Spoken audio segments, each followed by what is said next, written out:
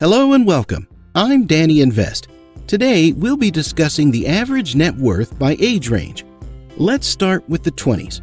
According to a report by CNBC, the average net worth of someone in their 20s is around $16,000. However, it's important to note that this is a wide range and there are significant variations within it. For example, someone who just graduated from college and is still paying off student loans might have a negative net worth, while someone who started working early and has saved aggressively might have a much higher net worth. Moving on to the 30s, the average net worth increases significantly. A report by The Balance found that the average net worth for someone in their 30s is around $93,000. This is likely due to a combination of factors, such as increased earning potential, more time to save and invest, and possibly even home ownership. However, it's important to note that this is still a relatively wide range, and there are significant variations within it. For those in their 40s, the average net worth jumps even higher.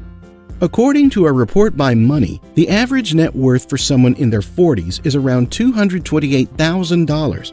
This can be attributed to several factors, such as increased job stability and earning potential, the ability to pay off debt and save more aggressively, and possibly even inheritance or other windfalls. Finally, for those in their 50s, the average net worth continues to increase. A report by Charles Schwab found that the average net worth for someone in their 50s is around $625,000.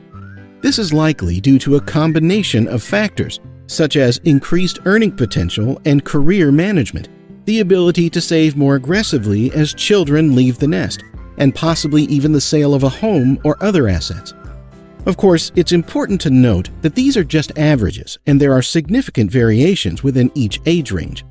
Factors such as education level, career path, and geographic location can all impact someone's net worth. Additionally, it's important to remember that net worth is just one metric of financial success and should be viewed in conjunction with other factors such as income, debt levels, and financial goals.